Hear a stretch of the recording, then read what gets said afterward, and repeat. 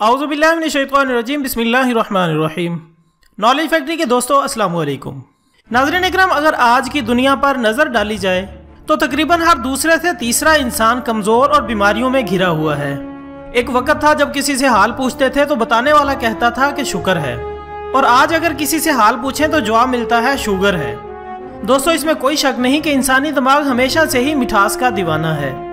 مگر ذرا سوچیں کہ ماضی میں ہمارے اباؤ اجداد کو بہت زیادہ چینی اور کیلوری سے بھرپور کولڈ ڈرنکس جیسی چیز نہیں ملتی تھی، اس لیے وہ آج ہم سے بھی جسمانی لحاظ سے بہتر ہیں۔ لیکن آج پوری دنیا میں پانی کے بعد جو سب سے زیادہ مشروب پیا جاتا ہے، ان میں بوتلیں شامل ہیں جنہیں سافٹ ڈرنکس بھی کہا جاتا ہے۔ نالج فیکٹری کے دوستوں اس کی ایجاد کا سہرا ایک کیمسٹ جون پیمپٹن کے سر جاتا ہے، جس نے اٹھارہ سو چھیاسی میں کاربونیٹڈ واٹر میں ہائی لیول فریکٹروز ملا کر اسے کیمیکل کا رنگ اور فلیور دے کر سافٹ ڈرنک تیار کی۔ کاربونیٹڈ واٹر چمکتے دھمکتے اس پانی کو کہتے ہیں جس میں پریشر کے ساتھ کاربن ڈائی آکسائڈ کا لیکوڈ ملایا جاتا ہے۔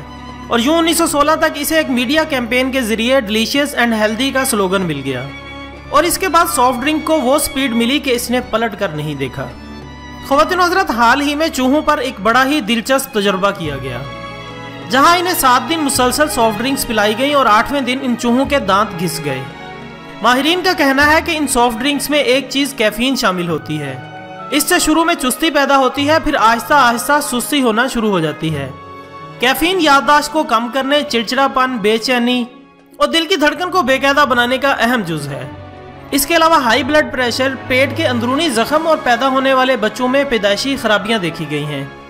دوستو، ان بوتلوں کے پانی کو ایک مدت تک خراب ہونے سے بچانے کے لیے ایک کیمیکل سلفر آکسائڈ پانی میں شامل کیا جاتا ہے، جس سے سانس کی تکلیف جلد پر خارش اور بے چینی پیدا ہوتی ہے۔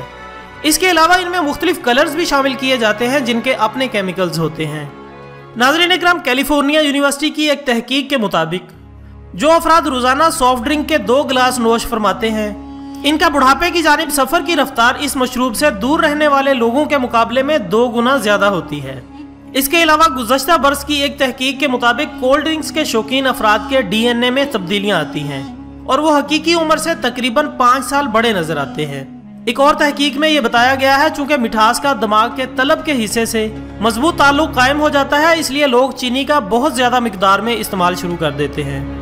جبکہ کولڈ ڈرنکس میں موجود بلبلے بھی یہ اثر بڑھاتے ہیں۔ کیونکہ اس سے ہماری زبان کے ذائقے کی لذت بڑھ جاتی ہے۔ نالی فیکٹری کے دوستوں بہت زیادہ مقدار میں ان مشروبات کا استعمال ہڈیوں کی مضبوطی پر بھی اثر انداز ہوتا ہے۔ بوسٹن کی ایک یونیورسٹی کی تحقیق کے مطابق، ان مشروبات میں چونکہ فاسفورس ایسڈ کی مقدار بہت زیادہ ہوتی ہے، جس سے ہڈیوں کی کثافت کم ہو کر ان میں کمزوری بڑھنے لگتی ہے۔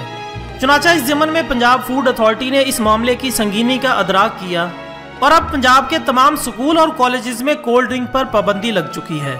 حکومت کو چاہیے کہ ایک ٹیم اور تشکیل دے جو سکول اور کالجز میں جا کر بچوں کو کولڈ ڈرنکس کے مضر اثرات سے خبردار کرے، تاکہ ایک صحت مند معاشرہ تشکیل پا سکے اور پاکستان کا مستقبل مضبوط کندھوں پر منتقل ہو۔ ناظرین اکرام جو ہمارا فرض تھا، ہم نے آپ تک پہنچا کر اپنا حق ادا کر دیا۔